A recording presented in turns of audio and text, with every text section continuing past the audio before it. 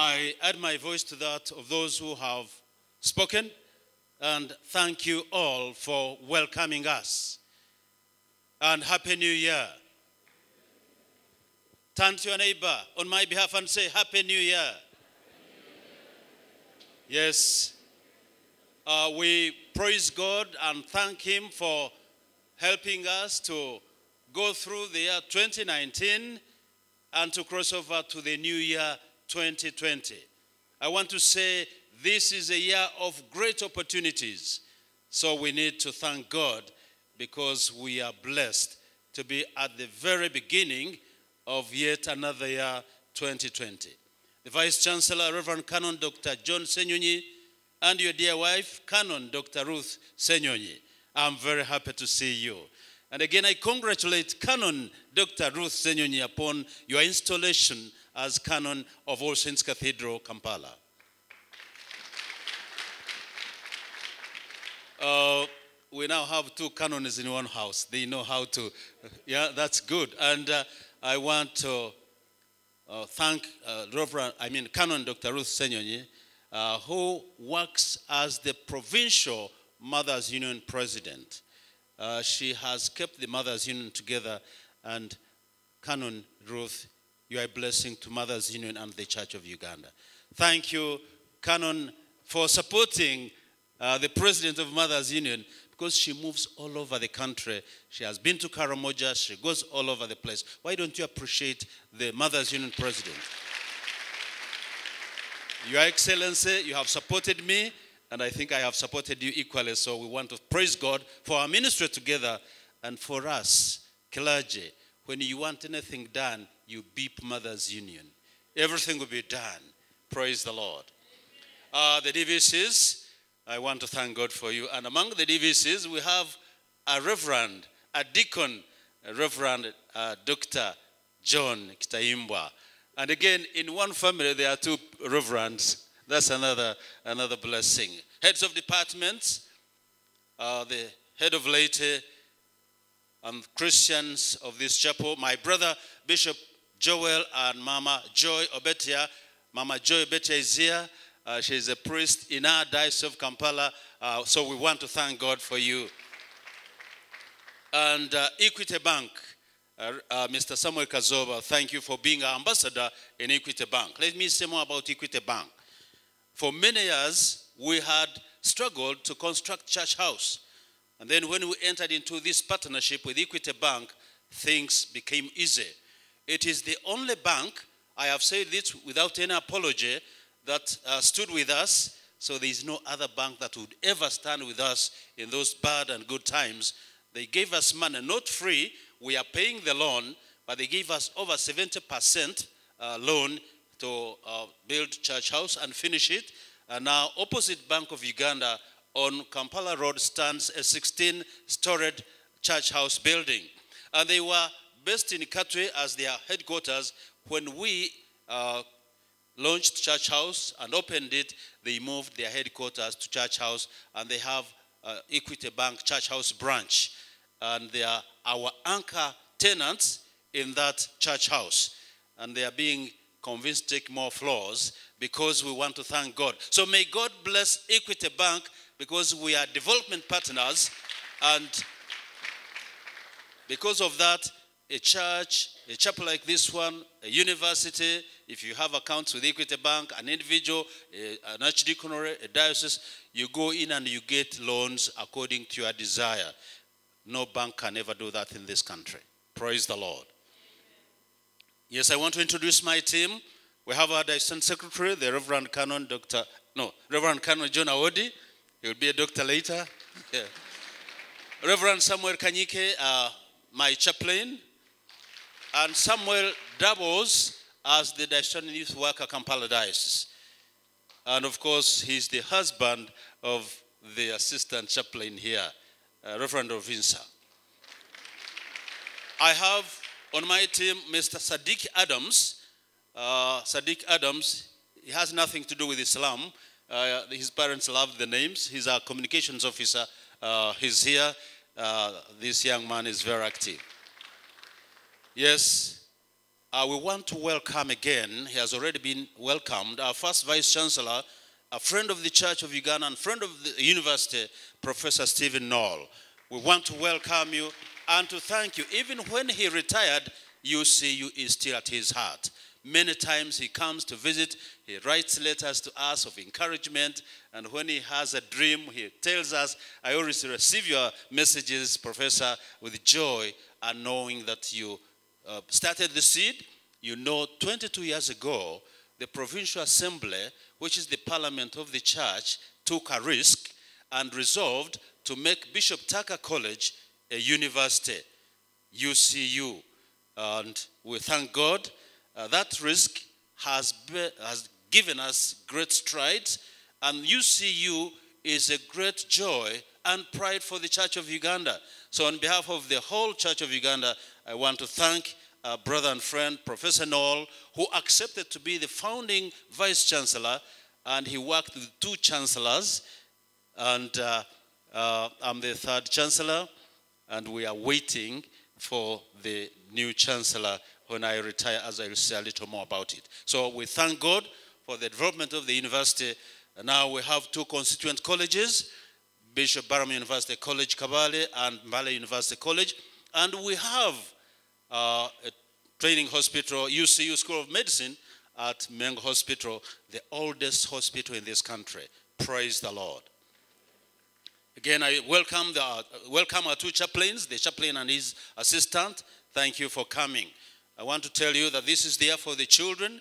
2019 was there for the children because we discovered as a church that the children are being neglected, they are at risk, some are being sacrificed, and we are not speaking as a church. So we decided to focus. The Provincial Assembly, uh, the 24th Provincial Assembly, decided to make their 2019 there for the children to focus on advocating for their rights loving them as God loves them because they are gifts from the Lord, and also giving them a good foundation. That when you give children a good foundation, access to good medical care and education, you know they are the future leaders. And we have decided, the Provincial Assembly Standing Committee saw the need, so we have again continued with, continued with that. So this year, 2020, will be the year for the children.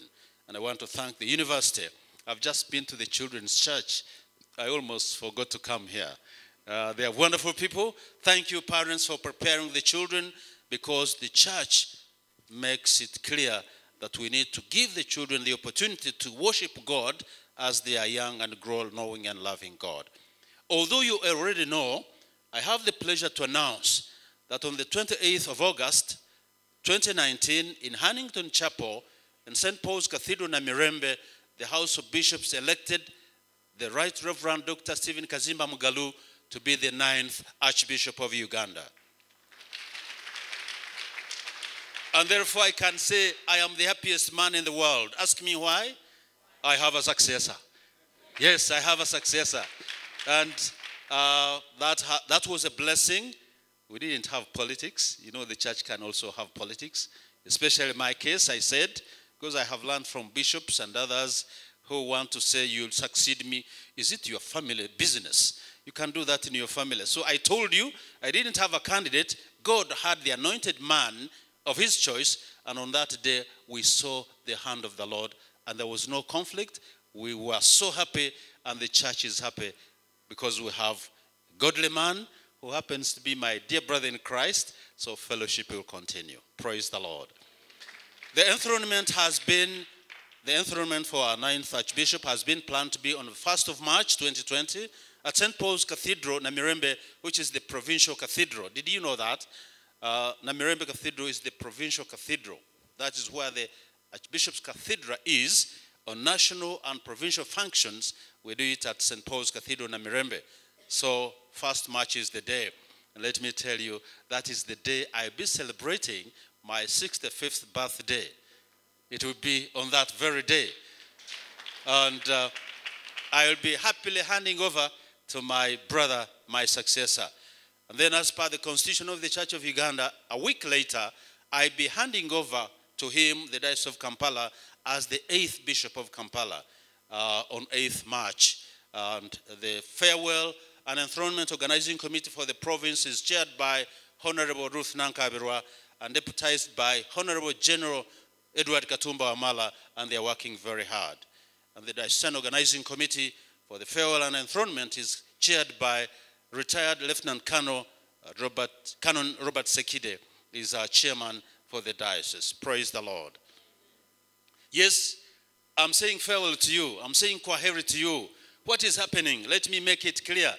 I'm not only retiring from being the 8th Archbishop of Uganda, but I am retiring from the long service of over 43 years of full-time church ministry non-stop. Yes, I started as a catechist in 1975. Many of you were not born. And then 1977, I went to be a missionary in Karamoja just a week after uh, our Archbishop, third Archbishop, had been killed. And then I went to Moroto. I was there. Then I came to train here as an ordinand in 1979, and I was here as a student from Karamoja. When I graduated in 1981, I went back to my missionary area, and I was ordained on the 6th of December 1981. My contemporaries are Dr. Bishop Dr. Joel Betia. We were together and we again met in Oxford when he was doing his PhD. I was doing my master's degree. Uh, he's now a dear friend and retired. Among our contemporaries, it's only one bishop who is still uh, in office, Bishop George Bagamuhunda. You know, he was younger than us. He's the only one, our group, those who became bishops, uh, are, he's the only one uh, still in service, and I think he has a few years. So we want to thank God. So we want to thank God for the blessing he has bestowed upon us. So coming to UCU is coming home. Is coming home because I have been here as your bishop, your chancellor, and your friend, your pastor. And uh, with the vice chancellor, we agreed that I should be doing pastoral visits at least every semester. I used to come here to be closer to you. I didn't want to remain a ceremonial chancellor who comes only to preside over graduation, but also to be uh, part of you, meet the guild government, although sometimes they asked me management questions, and I would say with intelligence that this is a management question, I would refer to the right people. Praise the Lord. So, Your Excellency, the guild president, I congratulate you and thank God for you, and we pray that uh, you will continue to serve the Lord in your respective capacities. So, I am retiring after those many years and I am happy. And you know, retirement begins in the mind. I am ready. I'm only waiting for the day because I have been at it for a long time. I've been in many places. I've told you, Karamoja, then I was a vicar of a cathedral in Hoima. I was an archdeacon. Then when I came back from Oxford, I was diocesan secretary. Once upon a time, I was the provincial secretary. When Professor Noll was active, we were working, working together. And then I went to be the first Bishop of Masindi Kitara Diocese, and by God's grace, I'm where I am. Praise the Lord. So, my message to you has the theme God's grace has led us this far. God's grace has led us this far. So, I'm retiring from office work, but not from preaching the gospel. For us clergy, we retire from preaching the gospel when God calls you home. So, I'll continue to preach the gospel uh, of the kingdom of God by God's grace. I love the words of King David in our Old Testament reading, First Chronicles chapter 17 and verse 16 and 17. First Chronicles chapter 17 and verse 16 and 17. Then King David went in and sat before the Lord and said, Who am I, O Lord God? And what is my house that you have brought us this far? And this was a small thing in your eyes, O God. You have also spoken of your servant's house for a great while to come, and have shown me future generations, O Lord God. Who is King David? He was one of the sons of Jesse. And when God uh, directed and instructed Prophet Samuel to go to the family of Jesse and anoint one of his sons, king of Israel, you can read the story in 1 Samuel chapter 16. Samuel obeyed God and went uh, to the house of Jesse. And the first son to come was a great man, a giant. And uh, Samuel was convinced. He almost stood up and anointed him, but the Spirit said, God has rejected him. You look at the outside, but God looks at the heart. Praise the Lord. God looks at the heart.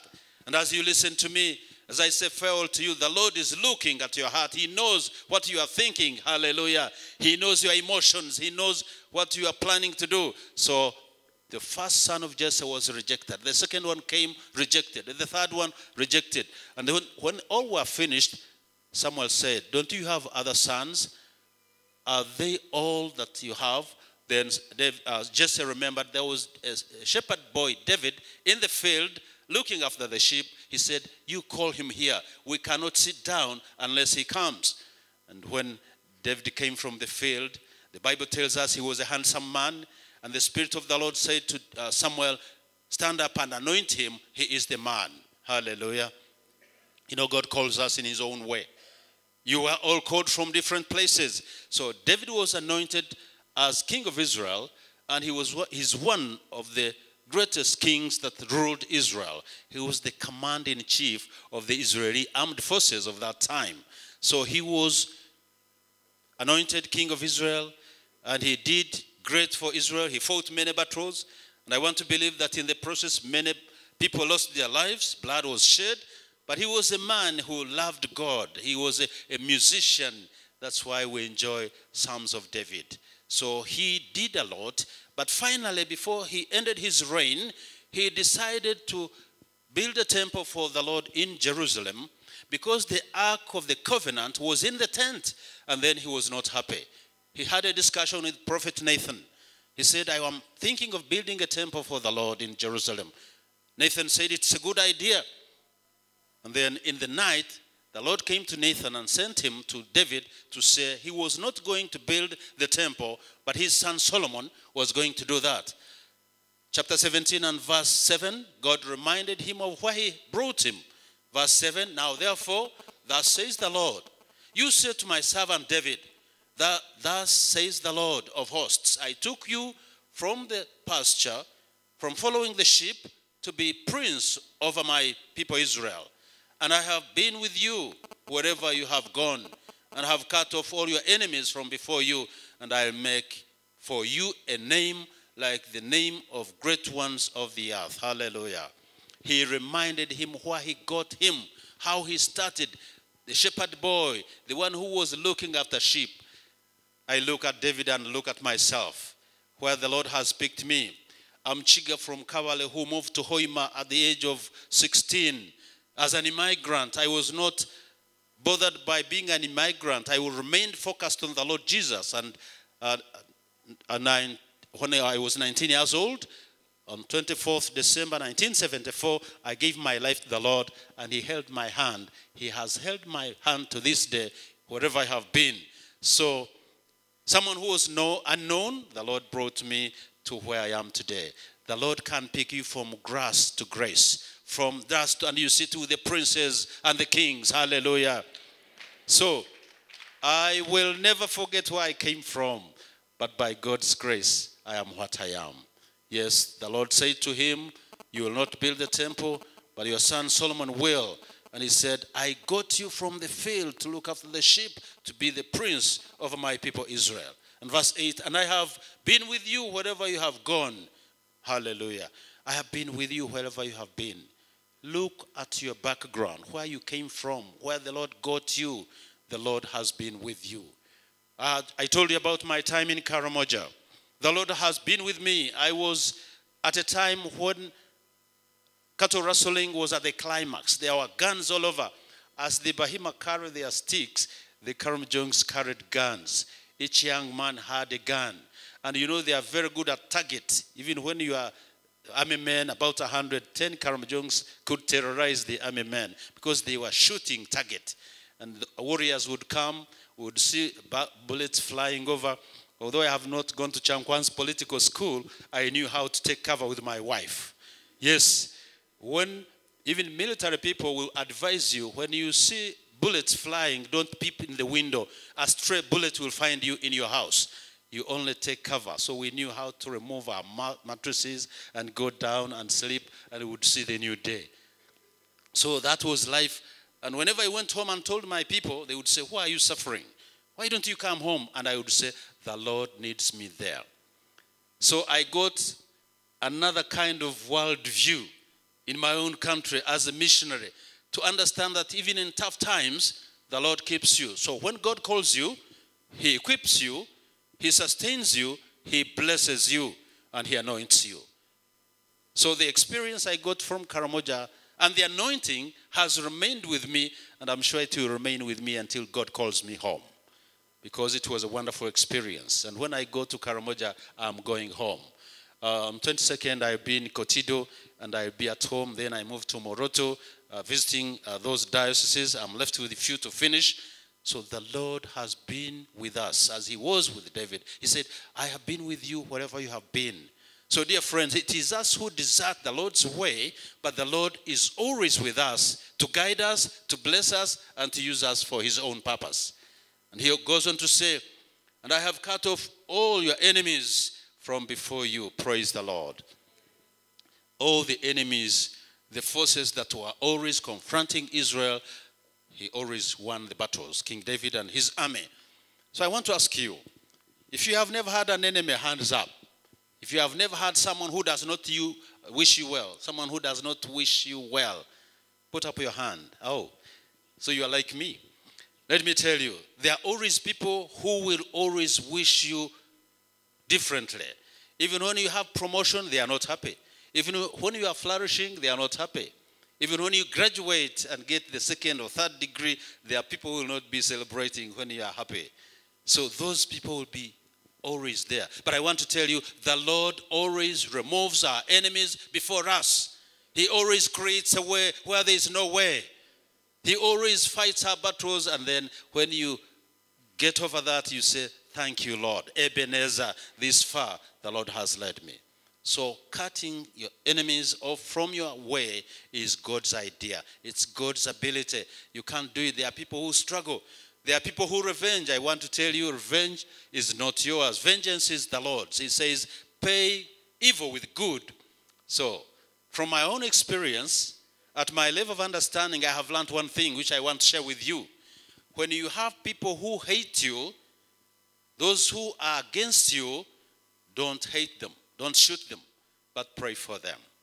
Pray for them. You know what happens when you pray for your enemy?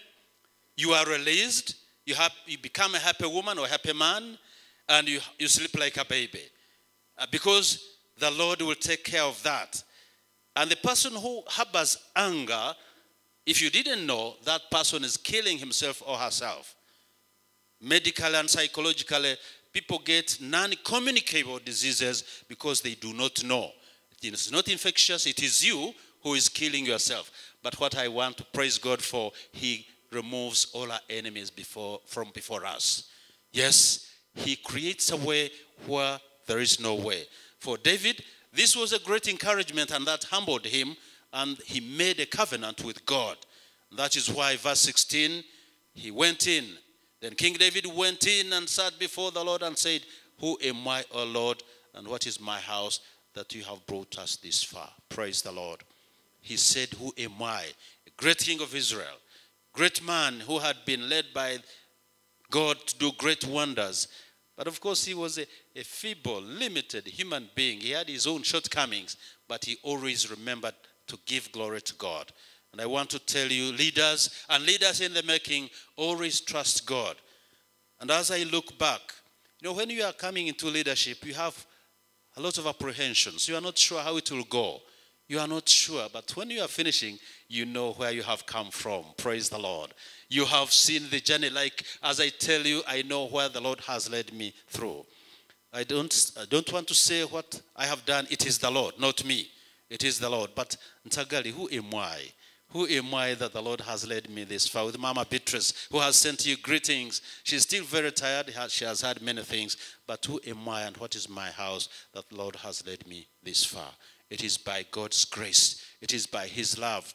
He called me when I gave my life to Him. He has fought all the battles. Don't think that things have, have been easy, even as an archbishop. But when things get tough, I look to the Lord, I say, It's all about you, God. Yes, whatever you are doing and you meet stumbling blocks, what the Swahili people call vipingamizi, you always depend upon God. Surrender them to the Lord, and He'll lead you and you say, Who am I that I have overcome all this? David was humbled. He said, Who am I, O Lord God, and what is my house that you have brought us this far? You know, we want to depend upon God's grace and God's love. Leadership is not easy, but the one who leads is the Lord Himself. We depend upon His guidance and blessing. So, in your position, even in your family, in your business, as a student, as a lecturer, depend upon God because He will always lead you to greater heights. Verse 17, He says, And this was a small thing in your eyes, O God. You have also spoken of my servant's house for a great while to come and have shown me future generations, O Lord God. Yes, what we look at as mountains, as impossible things, are small in God's sight. You know, a thousand, a thousand years before the Lord is like one year. So there is nothing impossible with God. Whatever we look at, the challenges we meet as individuals, as families, as a university, as a chapel, are simple things before the Lord. We only need to depend upon Him. When you look for your own solutions, you fail. But when you depend upon the Lord and be guided by Him, you know that He makes the impossible possible. The Lord makes the impossible possible. And the Bible says there's nothing that is impossible with God. And Paul says in Philippians chapter 4 and verse 13, I can do everything in Him who strengthens me. Our Lord is our Redeemer, He's our shepherd and friend, He's our rock and salvation. So, this is what we need to do to trust God, to surrender everything to Him, even in leadership, in whatever you are doing. The Lord will make things easier for you. Even when you meet challenges, that's not the end of the world. There will always be challenges because we are still in a fallen world, but you will always know how to come out. Conflict and other things. You know, we all live in conflict. Each one. In your own life, you are at, in conflict at crossroads as an individual with your family or your neighbors. But what is important is how you manage the conflict and how you get out the, of the conflict. Some people are swallowed by the conflict, they, they are shattered and crushed. But those who have good stamina, they depend upon the Lord, and the Lord makes things simple. And verse 20, David make, made this declaration. David made this declaration after being convinced. And he said, There is none like you, O Lord, and there is no God besides you, according to all that we have heard with our ears. That was a great declaration. There is no one like you, O God. There is no one like God. Dear friends, it is so sad to say that some people in our world have made money their God. Some people have made the property they have their God. Some people think science and technology is their God. They have forgotten the God of our history, the God of Abraham, Isaac, and Jacob. You know, our God is the God of yesterday, the God of today, and the God of our future. So there is no one like God. And there is nothing in your life that can take the place of God. That is why our country has the motto for God and my country, and sadly, some people have turned it to mean for God and my stomach. They are so self centered, they want to acquire more even through wrong means. So that is a problem for God and my country. Our country has been endowed with natural resources, with good weather. Although last year we had too much rain and we had floods and landslides, we sympathize with those families that lost their dear ones, and many are still displaced. But there is no one like God. God is our great God. He's a great God to be relied upon. He has blessed Uganda and He has blessed all of us. So there is no one like God. If you change and turn to other things to be your God, you are in the wrong place. God has blessed Uganda, God has blessed us, and He will continue to bless us. Yes, that was a great conviction for David. And verse 27 he says, Now you have been pleased to bless the house of your servant, that it may continue forever before you. For it is you, O Lord, who have blessed and is blessed forever. It has pleased the Lord to bless our university.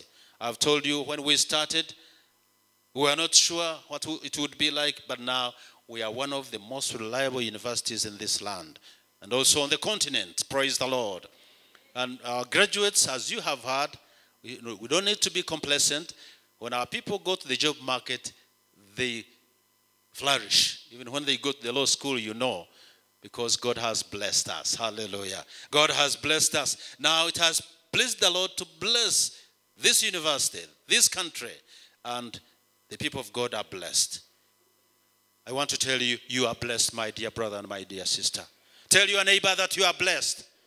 In Jesus' name, you are blessed. Uganda Christian University is blessed. This chapel is blessed. Your families are blessed. Our children are blessed. Uganda as a nation is blessed. The church of Uganda is blessed. And I, wa- I want to tell you that blessing is not for a short time, it is forever. So we are blessed forever. You are blessed forever. Our choir is blessed forever. We are blessed forever. What we have to do is to claim that blessing. Are you ready to claim that blessing? Are you ready to claim it? It is yours. Nobody will take it over from you. What God has predestined for you is yours forever. Hallelujah. We are blessed forever, and that's a great joy. I love the words of Psalm 23. David said in Psalm 23, he begins that uh, familiar psalm, which many people call Sunday school psalm, but it is very theologically rich and it is very inspiring. He said, The Lord is my shepherd, I shall not want. And I love verse 5 when he said, You prepare a table before me in the presence of my enemies. You anoint my head with oil, and my cup overflows. Hallelujah. The Lord prepares a table for you because you are blessed. I have talked about enemies being removed from before you. The Lord prepares a table for you so that you dine with Him, so that you continue enjoying His fellowship and His presence. That nothing will block you from reaching your God in prayer and fellowship. You prepare a table before me in the presence of my enemies. You anoint my head with oil, and my cup overflows. The cup of God's grace. How is your cup? Is it half empty? Is your cup of grace half, half empty? When your cup is full, you have the confidence to face tomorrow, to face all the challenges, because you have a cup full of God's grace. Hallelujah. I am retiring when my cup is full of God's grace and love and mercy. Hallelujah. So the Lord prepares a cup before you, even in front of your enemies, those who do not wish you well, and He anoints your head with oil, and your cup overflows. So I want to appeal to you, brothers and sisters, to have the cup of grace, God's grace for you, full, because God will always be with you. And He says, verse 6 Surely goodness and mercy shall follow me all the days of my life, and I shall dwell in the house of the Lord forever. Praise the Lord. Goodness and mercy follows those who love the Lord, who, who know that they have their cups of grace full and overflowing. When God loves you, He loves you unconditionally. When He saves you, He saves you. You only need to keep closer to Him in repentance and in fellowship with the saints. I shall dwell in His house forever, remaining in the presence of the Lord, in His counsel, in His guidance, in His providence forever. And when there is anything, you depend upon the Lord. This is what the Christian journey means that you are not alone, you are not lonely. You are, even when you are in the desert, you are not alone. The Lord is with you, the Lord is there to guide you and to bless you. I love the words of Paul when he was saying farewell to the elders of Ephesus in Acts of the Apostles, chapter 20. He was moving to Jerusalem. He says in chapter 20 that I'm compelled by the Holy Spirit to go to Jerusalem. He says, I'm not sure what will befall me, including imprisonment.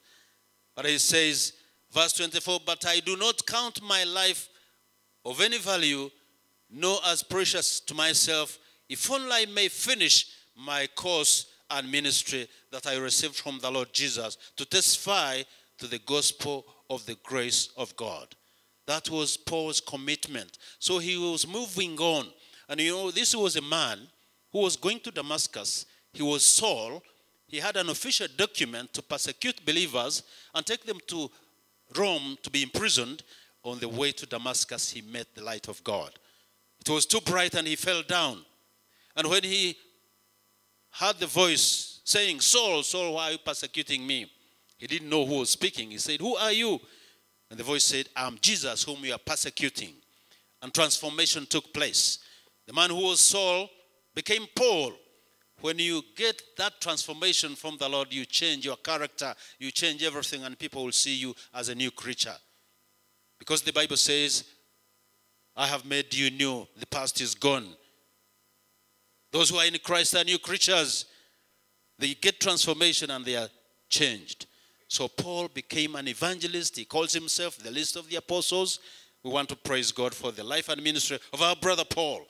So I want to use the words he said to the elders at Ephesus and verse 32. He said, And now I commend you to God and to the word of his grace, which is able to build you up and to give you an inheritance among all those who are sanctified. Praise the Lord. I commend you to God. David said, There is no one like God. And Paul, in his farewell message, he said, I commend you to God. I commend you to the love of God, to the grace of God, to the care of God. I commend you, my brothers and sisters, to God. We live in a very terrible time.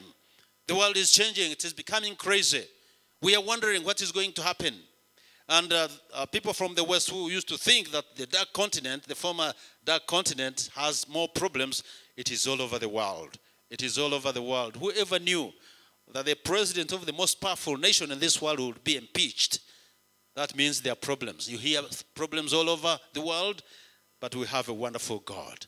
We have a loving God. And we want to thank God for our brothers and sisters from the West who are our partners and our friends. We are members of one family, the family of faith, the family of God. So we need to trust God that wherever we are, there are problems, but we commend everything to God. We commend the people of God. Even those who are suffering, we pray that God will be merciful to them.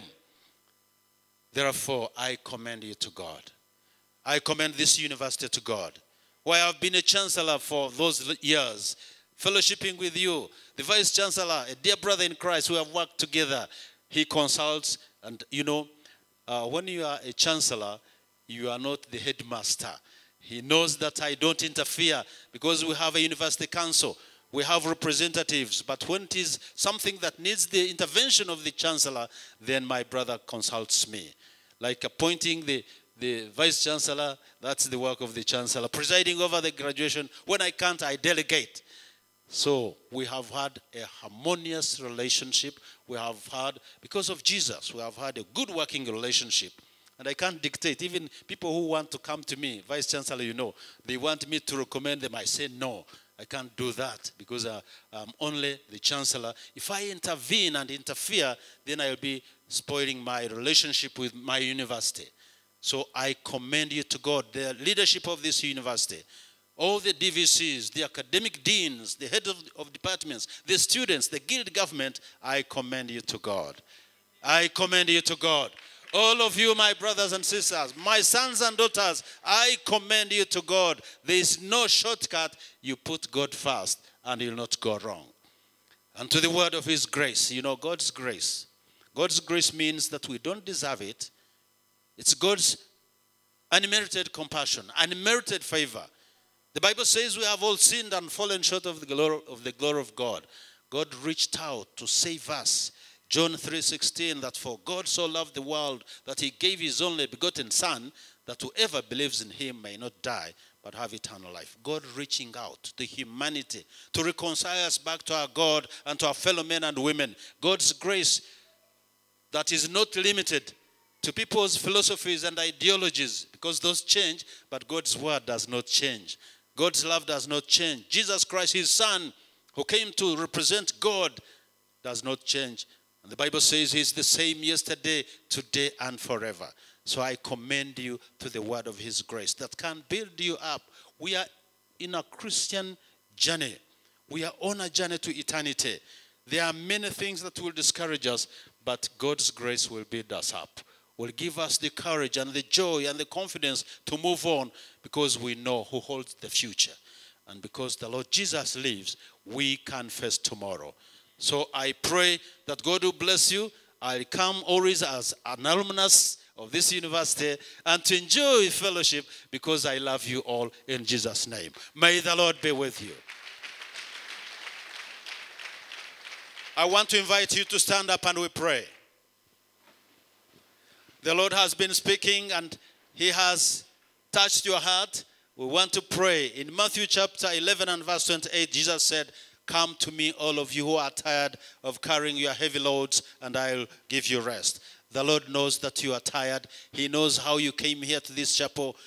The, Lord Jesus is here, and He wants to give you rest. So respond to His invitation to come to Jesus, and you'll not be the same again. Let us pray.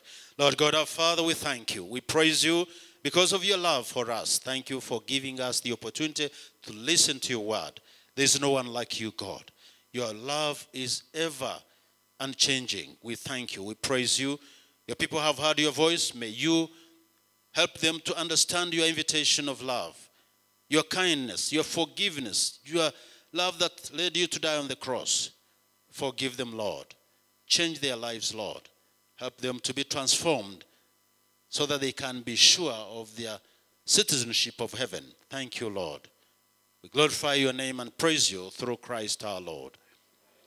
Let us remain standing. The choir, will you give us a chorus? If you want to come to Jesus, this is the moment. Come forward and we shall pray for you. This is the day that the Lord has given you to commit your life to Him. Choir, are you ready?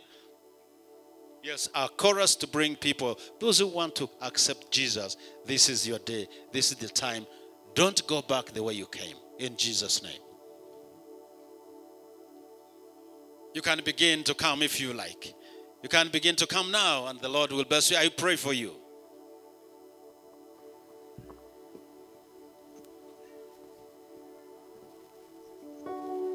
God bless you. God bless you. Yes.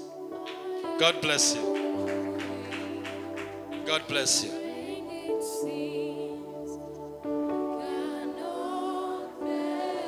Yes, you can come.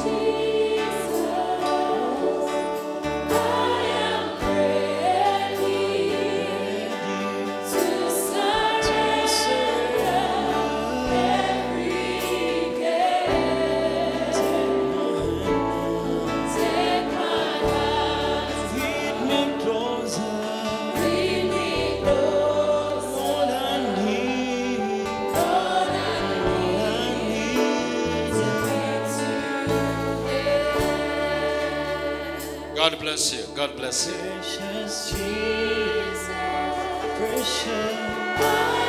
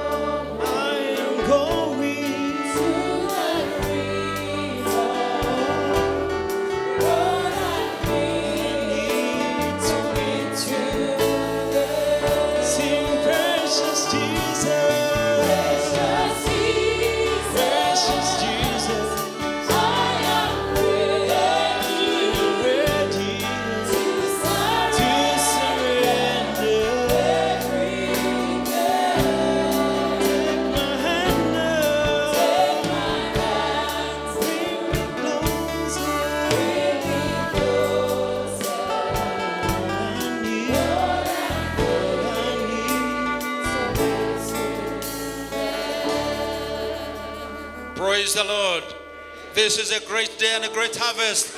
A big hand clap to God. Let us give thanks to God for these who have come openly and very courageously to follow Jesus. May the rest please sit. First this way. First this way. Praise the Lord. I want to welcome you to Jesus. Thank you for making a very brave and courageous decision to respond to the invitation from Jesus. You have come to the friend of sinners. What a friend we have in Jesus, all our sins and griefs to bear. And I want each one of you to put up your right hand. And I want you to say these words after me with courage and confidently. Say, Lord Jesus, I thank you for saving me. I have decided to come to you, Jesus.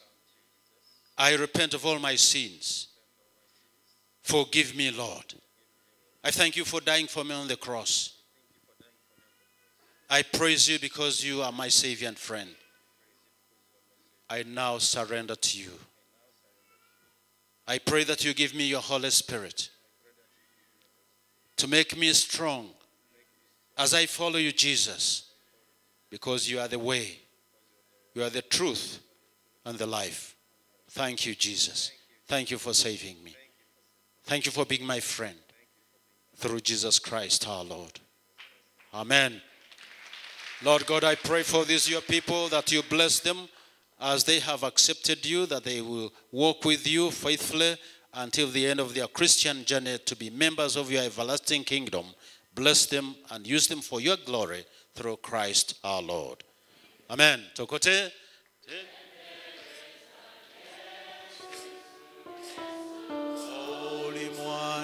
Mwana gwandiga omusa gonaziza